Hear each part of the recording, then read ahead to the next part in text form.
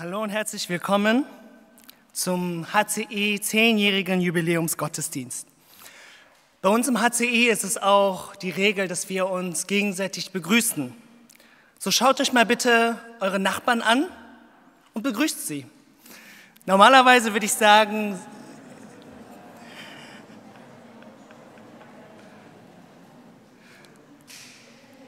Normalerweise würde ich sagen, grüßt sie mit den Worten, Gott segne sie euch und schön, dass du da bist. Aber ich möchte es noch einmal machen und dass ihr ein bisschen persönlicher werdet. Dass ihr euch so 30 Sekunden Zeit nimmt und euch mal wirklich die Frage oder ihn die Frage stellt, wie geht's dir? Schön dich zu sehen. Schön, dass du heute neben mir sitzt. Vielen Dank dafür. So möchte ich euch jetzt kurz Zeit geben, euch gegenseitig kennenzulernen.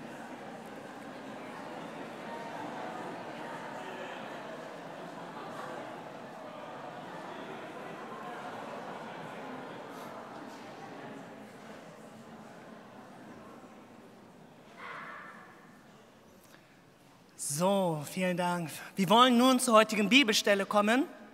Die heutige Bibelstelle ist Kolosser Kapitel 2, Vers 7. Und ich möchte euch diese Stelle einmal vorlesen. Und ich habe auch Vers 6 äh, mit reingebracht. Lasst mich es euch einmal vorlesen. Wie ihr nun den Herrn Christus Jesus angenommen habt, so lebt in ihm und seid in ihm verwurzelt und erbaut und fest im Glauben, wie ihr gelehrt, gelehrt wurdet, und seid darin reichlich dankbar.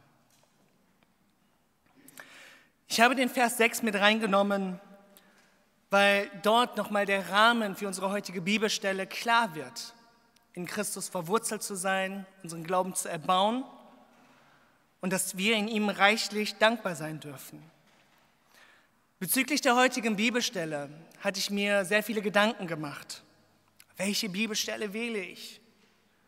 Doch als ich für den HCI gebetet hatte und auch für die Hambit-Gemeinde gebetet hatte, achtete ich diese Woche nochmal bewusster darauf, Gott, welches Bild möchtest du mir zeigen?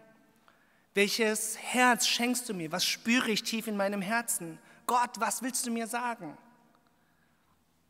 Und diese Predigstelle heute hatte mich nochmal zutiefst ergriffen. Und seid in ihm verwurzelt und erbaut und fest im Glauben, wie ihr gelehrt wurdet und seid darin reichlich dankbar. Vor zehn Jahren entstand der HCI mit der zweiten Generation ganz klar im Blick. Und wenn wir nun zurückblicken, entscheidet uns die heutige Bibelstelle als sehr passend.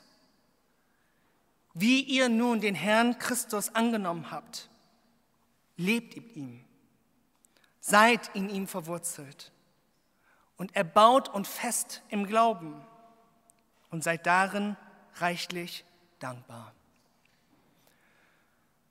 Und so möchte ich jetzt auch zum ersten Punkt kommen. Am Anfang unserer Bibelstelle steht, seid in ihm verwurzelt. In der Bibel kommt dieses Motiv häufig vor dass unser Leben, vor allem auch unser geistliches Leben, wie der Wachstum eines Baumes ist. Und es gibt etwas, was die Pflanzen und Bäume zum Wachsen bringt. Jede Pflanze und jeder Baum hat einen Stamm und einen Wurzel, einen unteren Teil. Es gibt einen Teil, der in den Boden ragt und einen Teil, der außerhalb des Bodens geht. Die Nährstoffe werden durch Wasser, durch die Wurzel aufgenommen, werden durch den Stamm nochmal gefiltert. Und das, was gefiltert wurde, hilft, dass der Baum wächst und gedeiht. Und alles andere, was man nicht braucht, schickt der Baum wieder nach unten. Das heißt, nachdem eine Pflanze oder ein Baum Nährstoffe aufgenommen hat, entscheidet die Pflanze, bringe ich es zum Wachsen oder wenn es nicht hilft, schicke ich alles wieder nach unten. Und diesen Gedanken möchte ich auch heute auf unser Leben übertragen. Unser Leben ist wie solch ein Baum. Das, was wir im Leben bekommen, bringt uns dazu, entweder, dass wir dadurch wachsen oder dass es uns einfach wieder herunterzieht. Und ich denke genauso, wie es verschiedene große Bäume gibt, obwohl sie den gleichen Boden haben, die gleichen Voraussetzungen, fast nebeneinander sind, kommt es oft vor, dass ein Baum deutlich kleiner ist als der andere. Und man fragt sich, warum? Und ich möchte euch heute zwei Arten von Bäumen zeigen. Zum einen dieser Baum. Das ist ein Bonsai-Baum. Und ich dachte immer, dass Bonsai eine Baumart ist. Doch ich, mir wurde dann gesagt, dass man für einen Bonsai jede Art von Baum nutzen kann. Ob es eine Tanne ist, ob es eine Eiche ist, ob es eine Birke ist und die ganz vielen anderen Bäume, die es noch gibt. Mit Bonsai ist eigentlich die Kunst gemeint, jede Art von Baum in eine Miniatur wachsen zu lassen. Und was getan wird, ist, man lässt den Samen erstmal sprießen.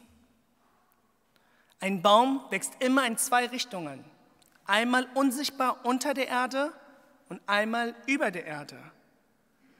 Irgendwann, wenn die Pflanze gewachsen ist, wird sie aus dem Topf rausgenommen und kommt in eine kleinere Schale. Und was dann geschieht ist, dass an dem Baum die Wurzeln getrimmt werden. Und dann kommt es schön wieder in die Box. Und das geschieht so lange, bis man zufrieden mit der Größe des Baumes ist. Und der Baum wächst dann nicht mehr weiter. Der Bonsai-Baum ist wichtig für uns, weil der Bonsai wegen diesen Eingriffen nicht stirbt. Ich möchte euch jetzt noch einen anderen Baum zeigen. Das ist hier ein Mammutbaum und gehört zu den größten Baumarten der Welt. Der Unterschied zum Bonsai-Baum ist, er hat feste, große, tiefe Wurzeln. Ohne feste Wurzeln wächst ein Baum nicht und hat keinen Stand. Heute in unserer Bibelpassage steht, seid in ihm verwurzelt und baut euer Leben auf ihn auf. Gott will, dass du und ich, dass wir alle im Glauben wachsen. Doch die Bibel nennt auch einen Feind. Und das ist genau das, was der Feind tut. Er wird alles daran setzen, dich an deinen Wurzeln zu stutzen, damit du für immer kleinwüchsig bleibst und niemals eine tiefe, eigene, persönliche Beziehung mit Gott aufbauen sollst. Vielleicht hast du ein Gefühl über Gott, denkst dir, ja, es gibt ihn.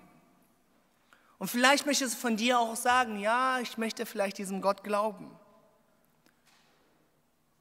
Und der Pastor wird dir dann wahrscheinlich dann auch sagen, du glaubst an Jesus Christus, okay, du hast es geschafft, du kommst in den Himmel. Doch Gott gab dir und mir nicht ein Leben, damit wir unser Leben lang wie ein Bonsai-Baum leben sollen. Das Geheimnis eines prächtigen Baumes liegt im Verborgenen in den Wurzeln, im Unsichtbaren. So möchte ich dich fragen, was machst du, wenn keiner zuschaut? Betest du, wenn keiner schaut? Liest du in seinem Wort? Woran denkst du das, was keiner sehen kann? Deine Wurzeln sind absolut wichtig. Und das Wichtigste dabei ist, in welche Richtung und wohin deine Wurzeln sich hinstrecken. Wo willst du verwurzelt sein? Unser Ziel sollte es sein, in Jesus Christus verwurzelt zu sein. Und somit möchte ich zum weiteren Punkt kommen. Paulus sagt, bleibt fest im Glauben und lasst euch nicht von dem abbringen, was euch gelehrt worden ist. Und was meint ihr? Was meint Paulus, wenn er hier von Glauben spricht? Ein Pastor und Theologe namens Timothy Keller sagt, entweder glaube an alles von Jesus Christus oder lass es ganz sein. Was meine ich damit? Wir kennen unsere Freunde, die sagen, ja, Jesus, ist ein guter Lehrer gewesen, ein guter Mensch, hat sich für Schwächere eingesetzt. Finde ich gut, kann ich folgen. Gott ist lieb, ja, kann ich glauben. Aber was Paulus hier anspricht, ist weit mehr als einfach nur eine Anmutung. Er möchte einen tiefen, lebendigen Glauben in unserem Leben sehen.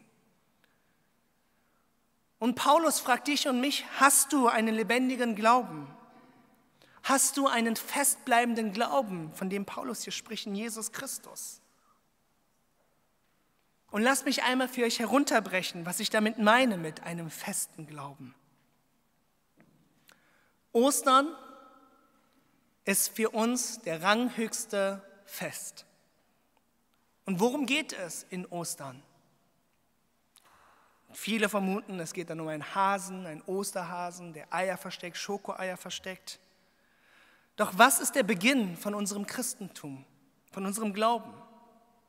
Die Geburt von Jesus Christus, Weihnachten? Nein. Der Tod am Kreuz, sehr wichtig. Karfreitag, aber nein.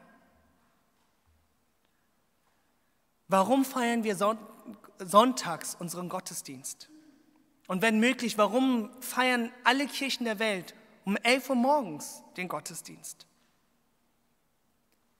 Weil Jesus Christus an einem Sonntagmorgen auferstanden ist.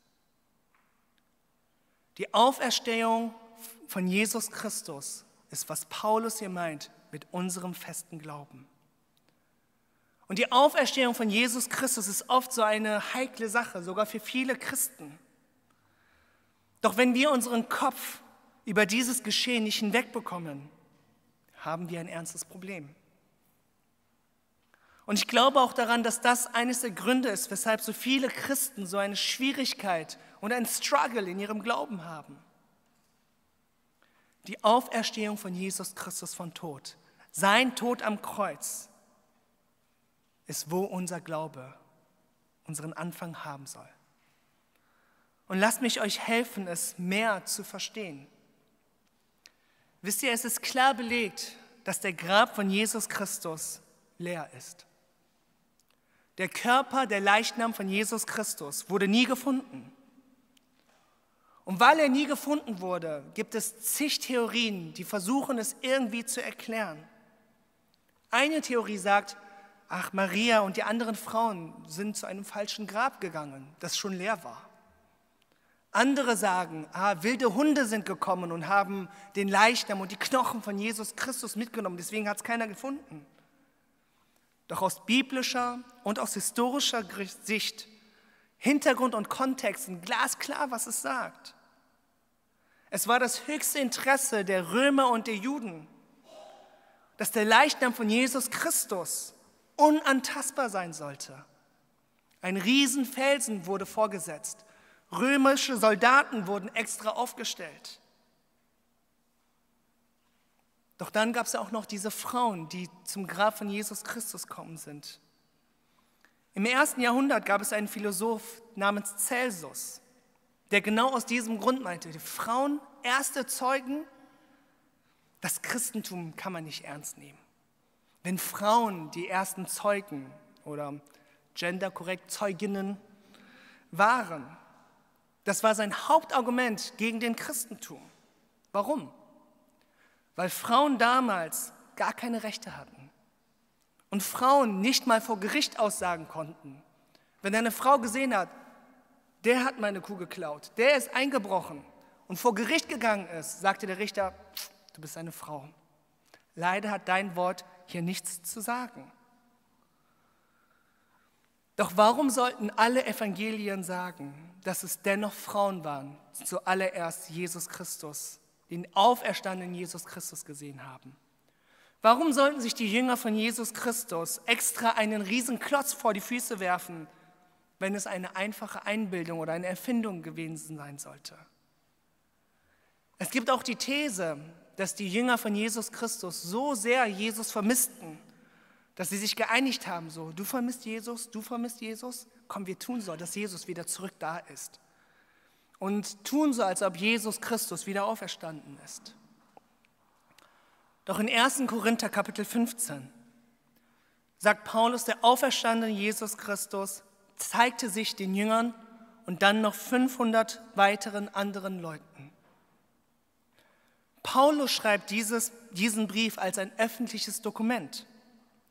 Jeder, der das gelesen hatte, konnte in die Städte gehen und die Namen, die Paulus hier nennt, selber erfragen und sagen, hast du Jesus gesehen? Ja oder nein?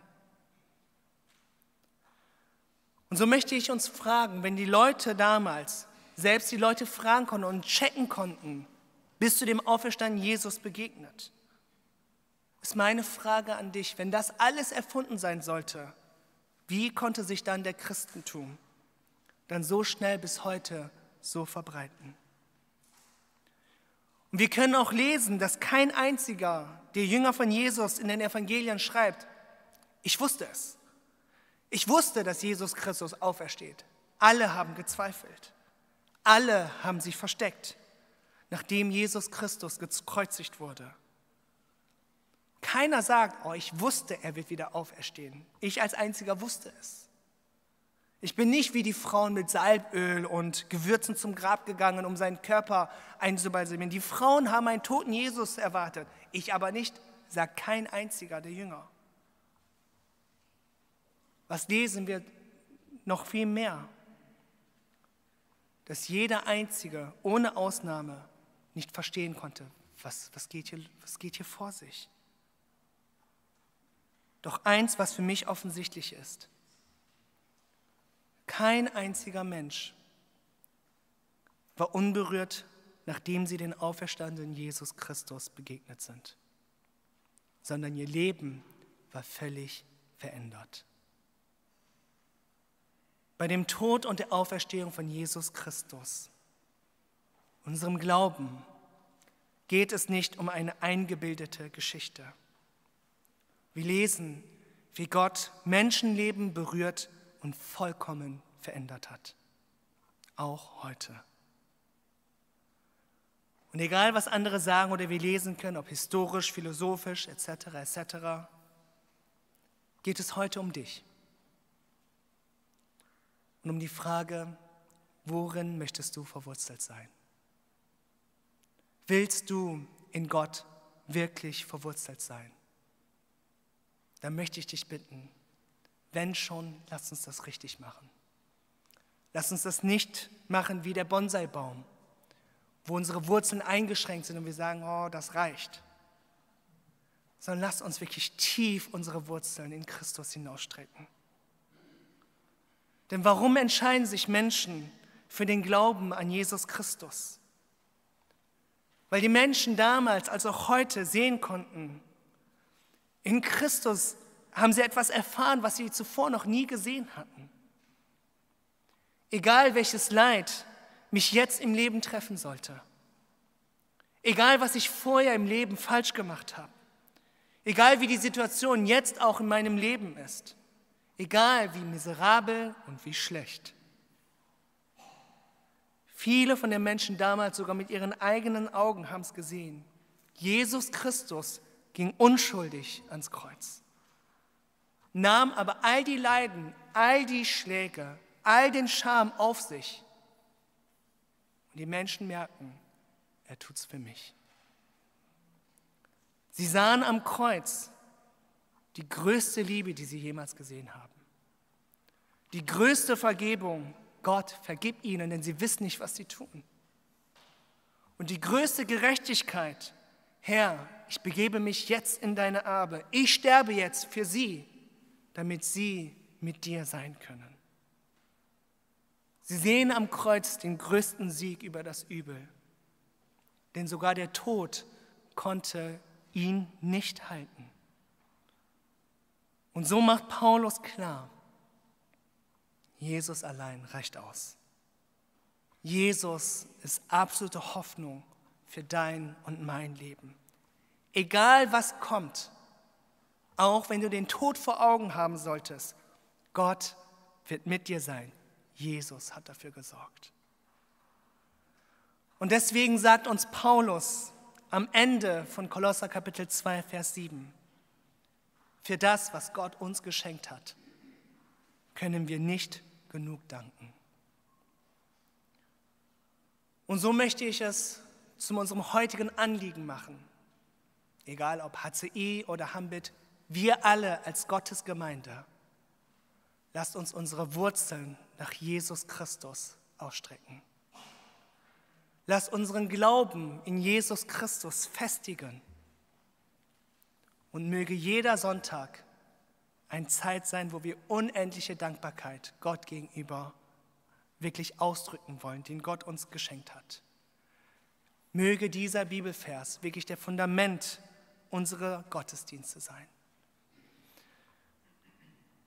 Und so möchte ich uns auch nochmal einladen, dass wir als HCI, nachdem wir das verstanden haben, drei Sachen als Fokus gesetzt haben. Wir wollen als erstes unseren Fokus auf Verlorene setzen. Möge unser Gottesdienst Menschen, die Jesus Christus nicht kennen, mögen sie verstehen, dass wir in Christus verwurzelt sind, dass wir im Glauben standhaft sein wollen, dass wir unendlich dankbar sind für das, was Gott uns geschenkt hat. Zweitens, was wir im HCI tun wollen, ist, wir wollen den Fokus auf die nächste Generation setzen. Deswegen haben wir auch die Kinder vorne singen und einen Kindergottesdienst. Und drittens, unser Fokus soll auf die Multiplikation von Leitern sein dass unsere Gottesdienste, unsere Treffen nicht von wenigen Leuten, sondern so vielen Leuten wie möglich gestemmt und weitergetragen werden kann. Und zu dieser Hausaufgabe möchte ich um euer Gebet bitten. Hilft uns, betet bitte für uns. Und das wollen wir jetzt auch an dieser Stelle tun.